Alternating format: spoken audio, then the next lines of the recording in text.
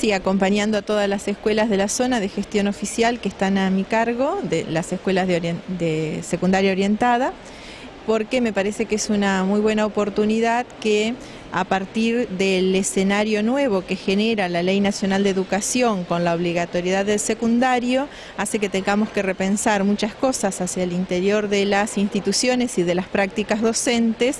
Entonces es una excelente oportunidad para que los docentes, dentro del horario de trabajo, como ya se dijo, puedan sentarse con sus pares a dialogar acerca de todo esto que nos interpelan las aulas a diario y que tenemos que encontrar nuevas estrategias para estos desafíos. Claro, justamente estas nuevas estrategias que se deben eh, buscar, como usted menciona, son las que se dan en el, diario, en las aulas, ¿no? El docente debe estar permanentemente actualizándose no solo en los contenidos, sino en cómo la sociedad eh, nos va enfrentando a nuevos desafíos.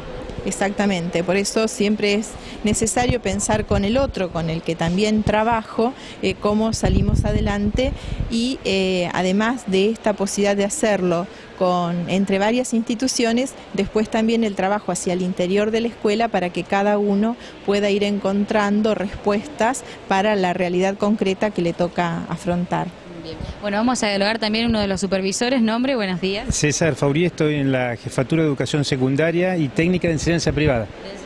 Bueno, decíamos justamente que importante la articulación público-privada, que estas capacitaciones cuando vienen de nación y se articula a través de la provincia no queden lo estatal. Eh, es fundamental, es universal por eso, porque abarca todo el sistema, incluyendo la gestión privada. Y no solamente tiene que ser en el relato universal, sino también tiene que ser a través de la presencia, de estar compartiendo hoy las dos gestiones aquí con las escuelas, porque son las problemáticas, son comunes más allá de algunas cuestiones propias de la, de la gestión estatal y de la gestión privada. es fundamental. Cuando un tema es tan complejo requiere el abordaje de todas las instancias, porque desde un solo lugar no se puede solucionar.